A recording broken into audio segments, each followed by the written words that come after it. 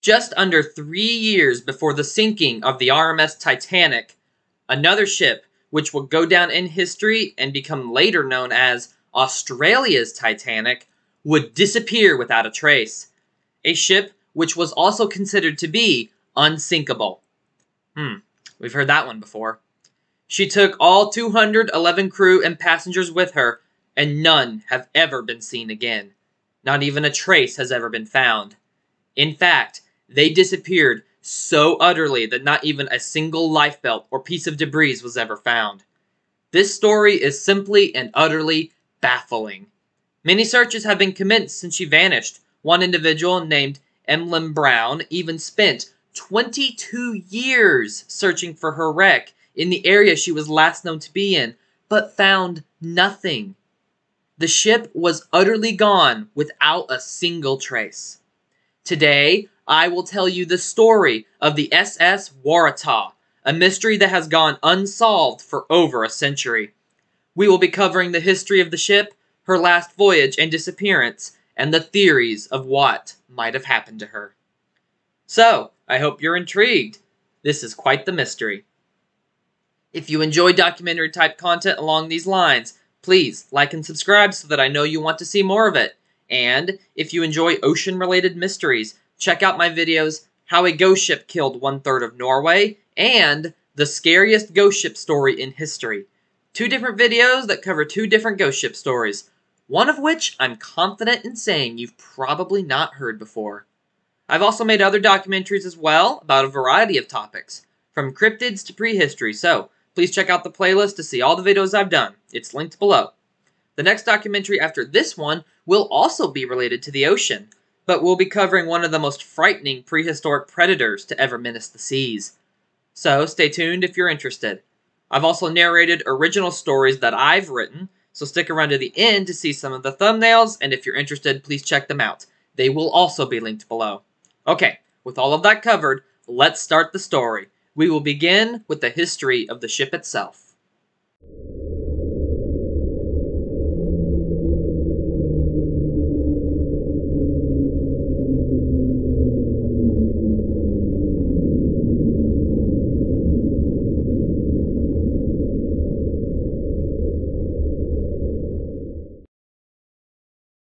Waratah was 465 feet long when constructed from 1907 to 1908. She was a blue anchor line ship and completed her sea trials in 1908. She also passed all inspections from her builders, owners, the Board of Trade, and Lloyds of London. The original order for the ship was placed in September 1907 with a construction period of 12 months. By W. Lund and Sons, Barclay Curle of Glasgow was hired for the project with it being a new cargo and passenger vessel for the aforementioned Blue Anchor Line. The Waratah was laid down at Barclay Curle's Clydeholm Yard and later launched in September 1908, a year after the original order had been placed, as hoped for. Waratah's sister ship was the SS Geelong. In, in August 1909, Geelong would actually be among the ships searching the ocean for her vanished sister, Waratah. Sadly, Geelong wouldn't last forever either. She would be sunk in the Mediterranean on January 1st in 1916, just under seven years after the Waratah would vanish. I bring Geelong up for an additional reason. Because when Waratah was being designed, she was being designed to be an improved version of the already existing Geelong, which launched in 1904 so most of her specifications were based on Geelong. Waratah was able to move at a speed of 13.5 knots on average, while Geelong could average a speed of 12, though she could push herself to 14 if need be. Waratah had a crew of 154 on average, 423 passenger cabins, and along with an additional 600 spaces for temporary dormitories in the holds. And lifeboat and raft space for a total of 921 people, Remember, this was before the sinking of the Titanic, so the issue of there not being enough lifeboats wasn't really a mainstream issue at this point. Waratah cost £139,900 to build. Her captain was Joshua Edward Ilbery, who had been the captain of Waratah's sister ship. Waratah also had no wireless set, meaning if she did become distressed at sea, then she would be on her own and have no way to contact land. While Waratah was on her maiden voyage in 1908, it was reported by her second officer that there was a fire in the lowered starboard bunker that extended all the way to the engine room. It was brought under control by noon that day, but it continued to reignite for the next four days until December 10th. Uninsulated steam valves were found to be the cause of the fires, and repairs were done in Sydney under the supervision of the chief, and they were done to their satisfaction. From there, Waratah made a few more trips until arriving in London again in March of 1909 to finalize her maiden voyage. She unloaded her cargo and was put into dry dock for inspection and underwent a few minor repairs at this time. The captain and crew of Waratah criticized the ship for her stability and handling, the captain even bluntly saying the ship was not as stable as his previous vessel. These comments caused some heated words to be exchanged between the captain, the ship's owners, and the ship's builders. On April 29, 1909, only a few months before she would disappear, the Waratah set out on her second trip to Australia. She was carrying 193 steerage passengers on this trip, along with 22 cabin passengers, a crew of 119, and a large cargo. The trip was uneventful, and the steamer arrived on June 6, after roughly a three week trip. At port, the steamer unloaded around 970 tons of lead ore and then continued down to Melbourne. And on this leg of the trip, she had to plow her way through a strong gale, which complicated her berthing on her arrival on June 11th. From there, the ship continued down to Sydney, once she arrived, she loaded her new cargo for the return trip. Once the cargo was loaded, which consisted of flour, wool, dairy, frozen meat, and 7,800 bars of bullion, she left port on June 26 and made a few more stops before arriving in Durban. This leg of the trip also had 100 passengers, as well as a convict who was being extradited to a Transvaal colony, along with an escort of true Transvaal policemen. Fun fact while in Durban, one Claude G. Sawyer, an experienced sea traveler and engineer, had felt nervous about the behavior of the ship during his voyage and had even experienced a premonition in dreams, which he saw as a warning to leave the ship. He sent a telegram to his wife in London saying that the ship had arrived in Durban and that he felt she was top heavy, and he left the vessel while it was in Durban. The ship would vanish after leaving port, and this decision saved Sawyer's life. Had he stayed on, the number of missing would instead be 212. At 8:15 p.m. on July 26, 1909, the Waratah left Durban. She had 211 passengers and crew on board. On July 27 at 4 a.m., she was spotted astern by the steamer Clan McLintree, and as Waratah was the faster ship, she gradually came level with the Clan McLintree, and by 6 a.m. the two ships communicated with each other via their signal lamps.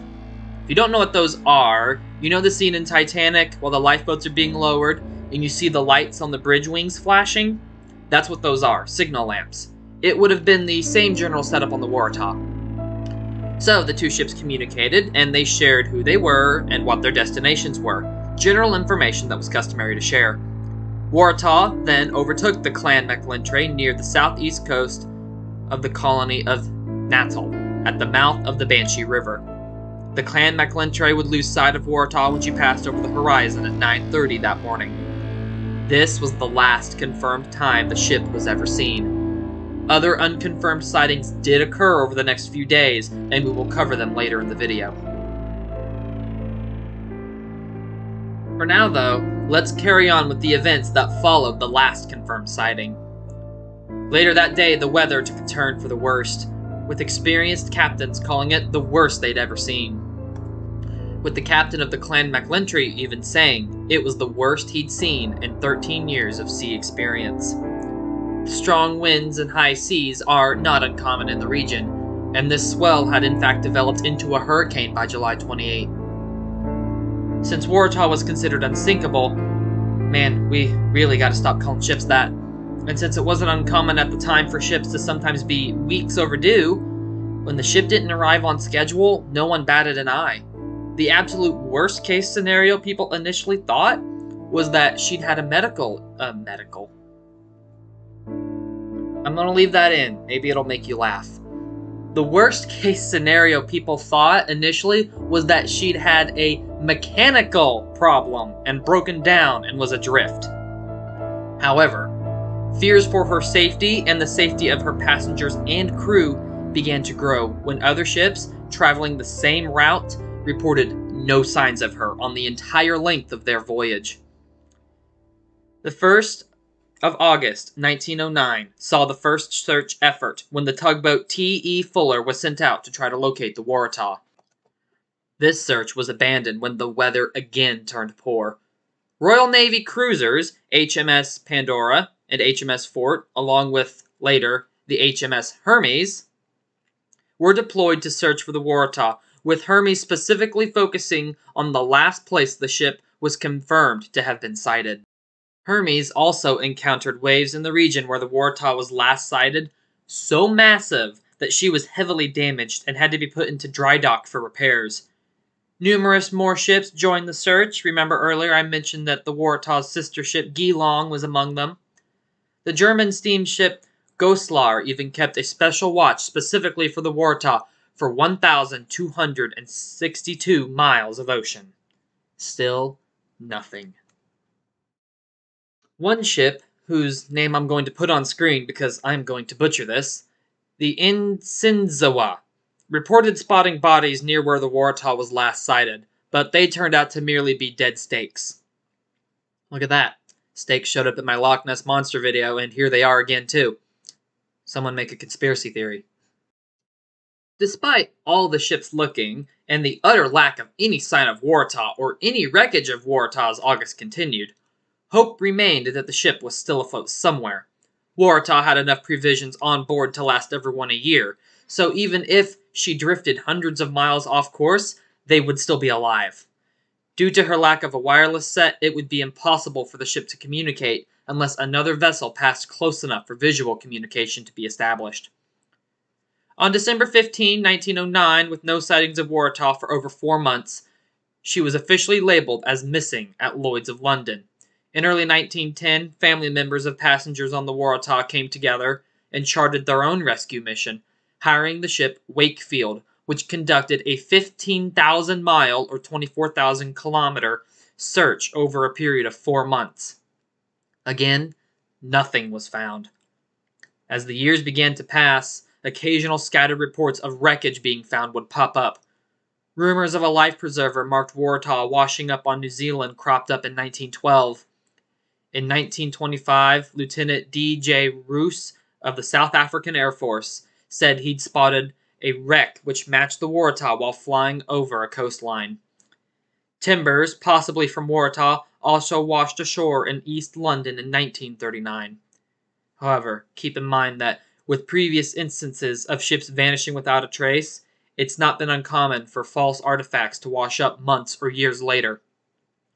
Check out the story of the SS City of Boston for an example of this kind of hoax.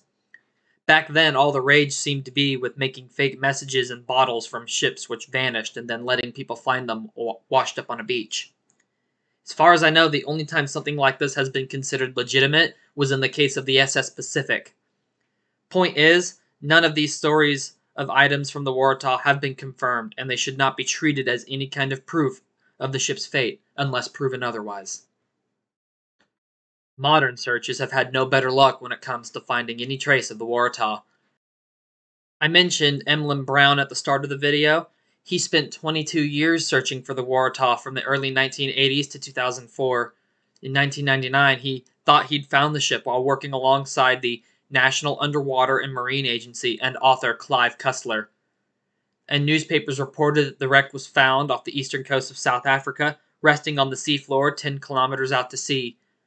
A sonar scan showed a wrecked ship which seemed to match the lost SS Waratah. A dive to the site in 2001, however, revealed that the wreck had been wrongly identified as Waratah, and the wreck was actually that of the SS Nailsea Meadow, a ship sunk during World War II On May 8, 1943, the SS Nailsea Meadow had left Cape Town for Bombay.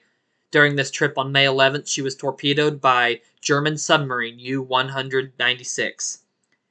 And after finding a picture of the Nailsea Meadow, yeah, I can see why it would be misidentified as Waratah. They look similar to each other, they have a very similar shape.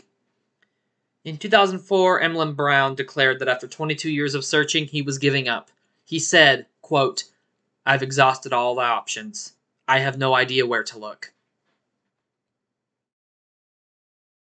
As I mentioned earlier, unconfirmed sightings from July, in the days after the last confirmed sighting of Waratah, came up too. If any of these are valid remains unknown, but here is each known one. I'll let you make up your own mind. Just like with the Orang Medan and Loch Ness Monsters videos, I'm going to tell you the evidence and then let you decide if you think any of them hold some truth or not. First comes from the ship Harlow on July 27, 1909. Remember that Waratah left Durban on July 26. The last confirmed sighting of her was in the morning of July 27, and she was expected to reach Cape Town on July 29. This possible sighting by the Harlow occurred in the evening of July 27 at 5:30 p.m., 1730 hours.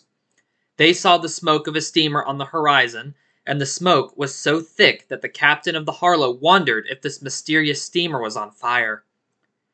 After darkness fell, they saw the steamer's running lights approaching them, still 10 to 12 miles back. Suddenly, they saw two bright flashes, but heard no sound due to the distance, and the lights vanished. The Harlow captain thought the steamer exploded, but his mate convinced him that it was brush fires on the shore, a common thing that occurs. The captain agreed and opted not to record the incident in the log, and only thought back on the incident as being significant after he learned that the Waratah had vanished. According to the captain of the Harlow, the ship was around 180 miles or 290 kilometers from Durban when the incident occurred. Keep this story in mind as it will come back up later in the video. Exactly four hours later on that same evening, a Union Castle liner, whose name I'm not even going to try to pronounce, here it is on screen, which was traveling north from the Cape of Good Hope, passed a ship. And they exchanged signals by the signal lamps, though due to the rough seas and bad weather, they could only make out the last three letters of the passing ship's name. Those letters, apparently, were T AH. In my opinion, out of the unconfirmed sightings, I think this one probably is the only one that was an actual sighting of the Waratah. It can't be confirmed, but that's my opinion. I think that this was probably the last actual sighting of the ship. Another sighting was not reported until 1929, and I don't really know if I believe this one. Eyewitness testimony is, of course, the least reliable form of evidence, so Again, I'll just let you make up your own mind. The story was reported by Edward Joe Conquer. He was a Cape Mounted rifleman. According to him, on July 28, 1909, he observed through a telescope while conducting a military exercise at the mouth of the Ixora River a steamship which looked like the Waratah struggling slowly through the rough seas, heading southwest. He watched as the ship rolled heavily in the rough seas before, while already being pulled partially over, a powerful wave struck her, swamped her, and caused her to fully roll over and then quickly vanish from view. According to Conquer, his orderly sergeant did not take the matter seriously, and as a result, he never came forward with his story until 1929. The story is definitely possible, and it is in line with one of the theories about what caused Waratah to vanish, but remember, Eyewitness testimony is the least reliable form of evidence, so I'll leave you with the story and let you make up your own mind on whether or not you believe Conquer or not. With the last confirmed sighting, when the weather changed, and all of these unconfirmed stories in mind, I'd say that whatever happened to the Waratah probably occurred on July 28. Before we cover the theories about why Waratah disappeared, it's worth mentioning what happened because she disappeared. Blue Anchor Line's ticket sales for their liners dropped severely, and the criticism directed towards the company did not help either. And the loss of sales and the huge financial loss of Waratah all combined, and in the end, it forced the company to sell many of its ships and then voluntar- voluntarily liquidate itself beginning in 1910.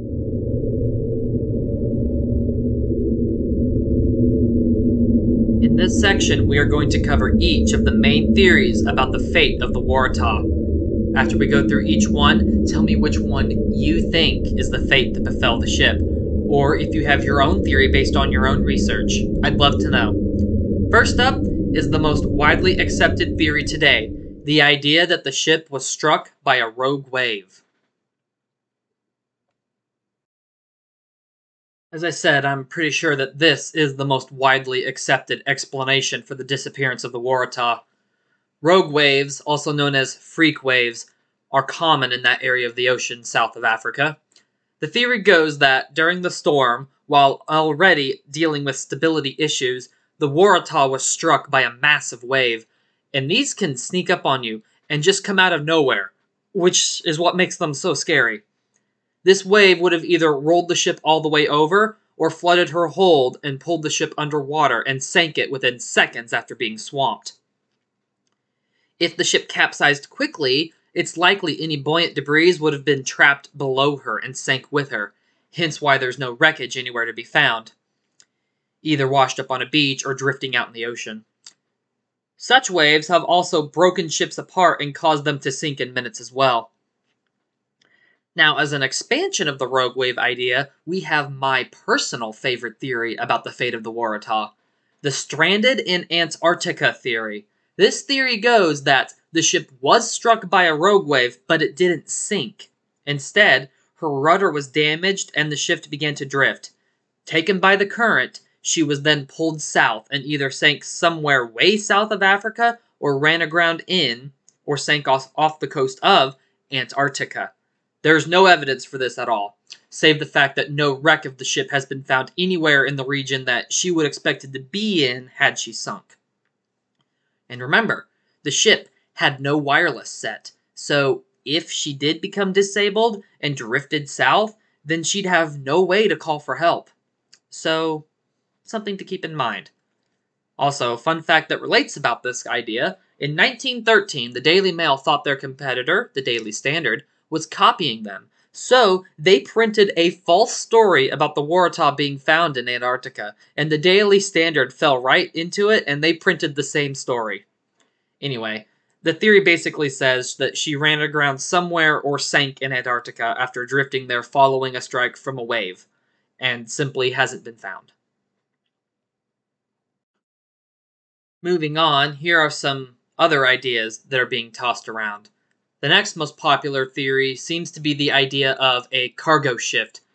During the voyage, which she disappeared on, Waratah was carrying a cargo of 1,000 tons of lead, as well as an additional 300 tons of lead ore concentrate. The thing about that is, is lead ore concentrate is known to, in certain conditions, liquefy due to the motion of a ship. Yeah, that'll throw off your balance. And as we've established, Waratah left something to be desired when it came to her stability in good conditions. Basically, if lead ore concentrate liquefies, it can throw a ship off balance and cause it to capsize. Today, we understand that lead ore concentrate is a, ca- is a hazardous cargo, and when ships transport it, safety precautions are put in place to protect the ship and the crew. Not back then. They didn't know this. There was basically no awareness to this issue back then. So this is certainly possible. In bad weather, with an already unstable ship, I could definitely see this causing Waratah to capsize. So, like the Rogue Wave idea, this one is definitely very possible. Another theory is that the Waratah was caught in a massive whirlpool. Now we're getting into theories here that aren't as widely accepted, so keep that in mind. These aren't quite as sound as the first ones. This one has been tossed around since the ship originally disappeared and continues to get brought up today. And it says that the Waratah was caught in a whirlpool created by a combination of winds and the weather at the time as a whole, currents, and a deep ocean trench. And there are a lot of those in that area. They are kind of common in that whole region off of southeastern Africa's coastline. While this theory does explain the lack of wreckage, no evidence today supports the idea that a whirlpool could be created which is strong enough to suck down such a big ship. Remember, she was 450 feet long with a beam of 59 feet 4 inches. And it's thought to be highly unlikely, if not impossible, for a whirlpool to form that could suck a, a ship that big down basically instantly. Another theory is that the ship exploded. This theory comes from one of the possible sightings I covered earlier, specifically the Harlow sighting. Remember, the running lights on the unidentified steamer vanished after those two bright flashes of light. The theory goes that the Waratah was obliterated in a sudden explosion within one of her coal bunkers. However, no explosion like this would make a ship as big as the Waratah sink instantly, especially without leaving any wreckage. So this theory seems the most unlikely to me. In all honesty, I'd rank these theories as most likely to least likely in the order that we just went through them. Tell me what you think, though.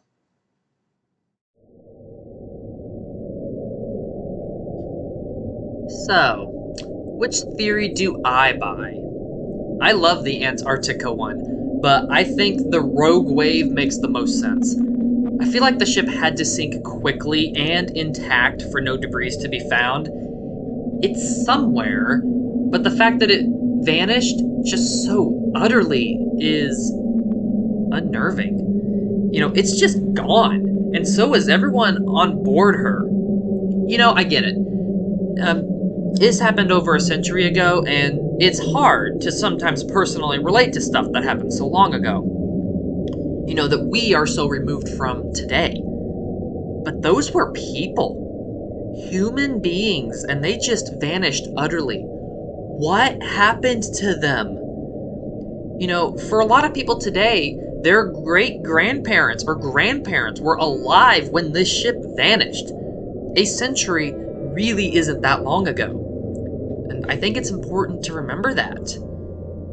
And you know, this ship has kind of fallen into obscurity, maybe in part to the sinking of the Titanic in 1912, but Titanic was almost in this exact same situation. The Marconi wireless set on Titanic broke during the voyage, and Phillips and Bride disregarded protocol and fixed the set. If they hadn't, no one would have heard Titanic's SOS, and today we probably would not know what happened to the Titanic either. Titanic would probably be just as mysterious of a mystery as Waratah if that had been what happened. Now, what do I think? Again, I think the most likely thing is the rogue wave theory.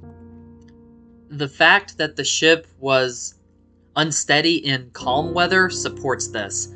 Rough weather uh, rough water and a giant wave just sound like a disaster waiting to happen. And the ocean is big.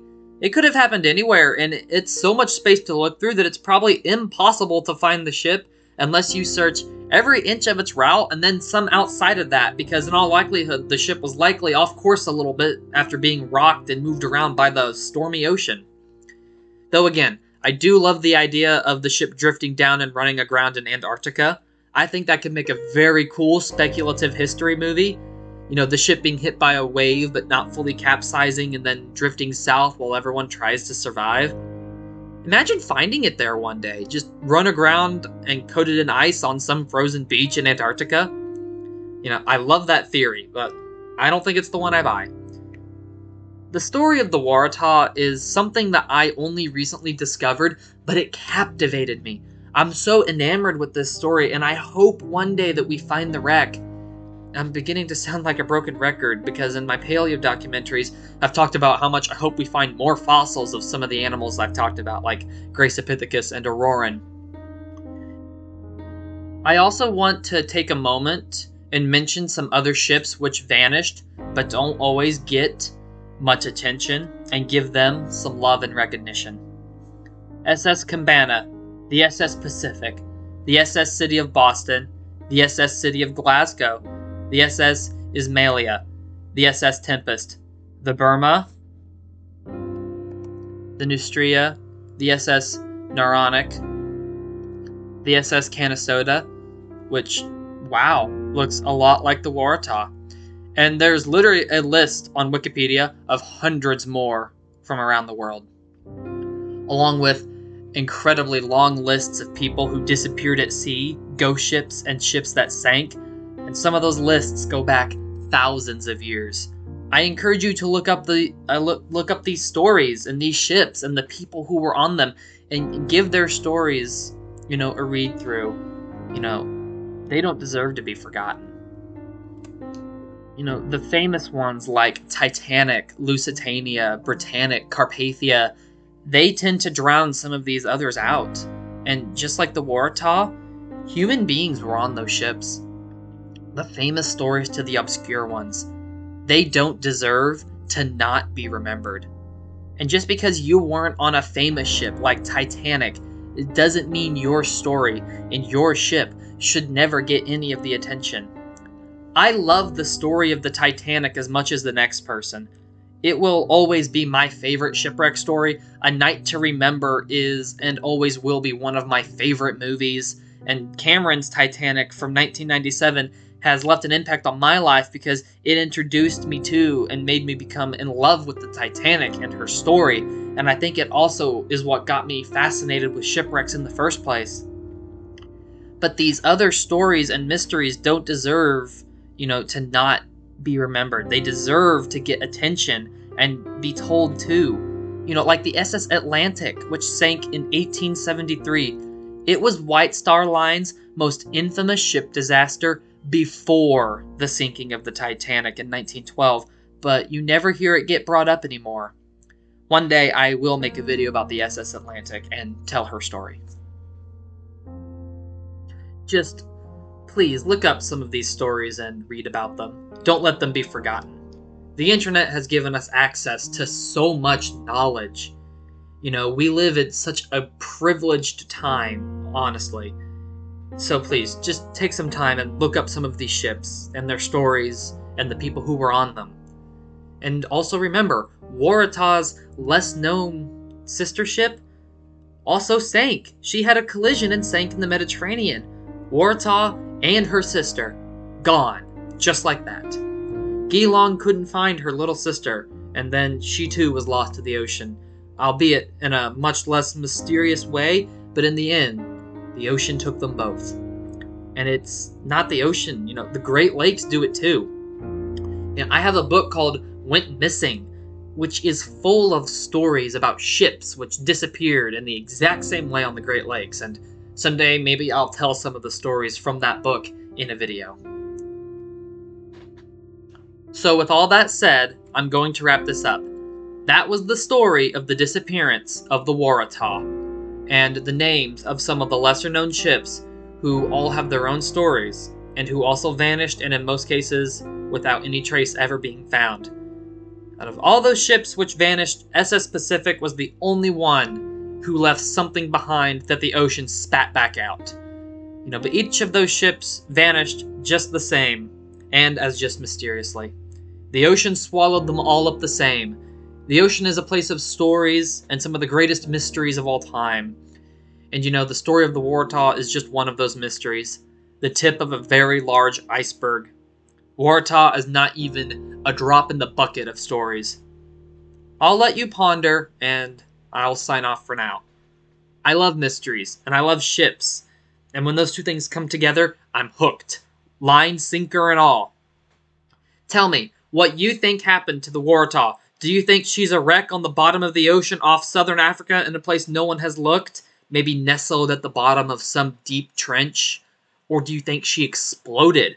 Or do you think she drifted south and now rests somewhere on the coastline in Antarctica? I think I like that theory because it's not only a grand idea of a final voyage you can write a fictional story around, but also because if she did drift down there, she might be in decent shape. And if she's ever found, we might get answers. And I just like this idea because if she did drift down into Antarctica, uh, down to the coast, and ran aground somewhere down there instead of sinking, she'd still be there on that beach. And there's just that appealing feeling when it comes to to the idea of one of these grand old steamships still being out there and existing today, preserved, when almost all of them have long since been scrapped and, for the most part, only now exist in paintings of a long bygone age. It's a cool idea. However, as much as I like it, I think she was probably swamped by a wave and no one has just looked in quite the right spot to find the wreck. Tell me your theory, though. I'd love to know. So thank you for watching. I hope you found the mystery interesting. I hope you enjoyed the video. I hope you learned something. And I hope you took something away from this fascinating story. The story of the Waratah is so captivating, and it really just makes you wonder what happened. Your imagination can picture any story of a rap of a rapid sinking with people trapped inside the ship, or a desperate fight for survival as they drift further and further south towards Antarctica. And I hope you see why now. Again, thank you for watching. Check my other documentaries out. And until the next one, that's all for now. Have a good one, everyone.